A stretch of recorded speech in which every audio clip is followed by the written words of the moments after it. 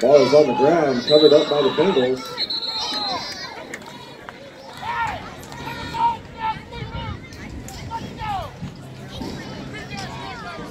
That'll bring up third down.